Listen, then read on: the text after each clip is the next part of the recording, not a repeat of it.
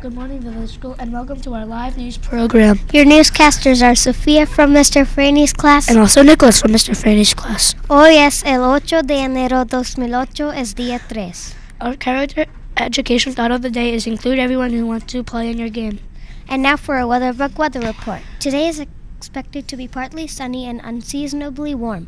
The current temperature is 43 degrees Fahrenheit. The high is expected to be 65 degrees Fahrenheit. The low this evening will be 48 degrees Fahrenheit. Tomorrow is expected to be mostly cloudy. There will be outdoor recess today. Today's lunch will be breaded chicken patty on a bun.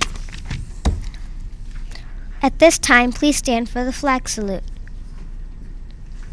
I pledge allegiance to the flag And to the republic for which it stands, one nation, under God, indivisible, with liberty and justice for all.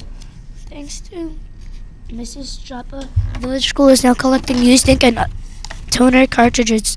Since the cartridges are used or recycled, it saves the environment and we and we also receive money from each cartridge returned.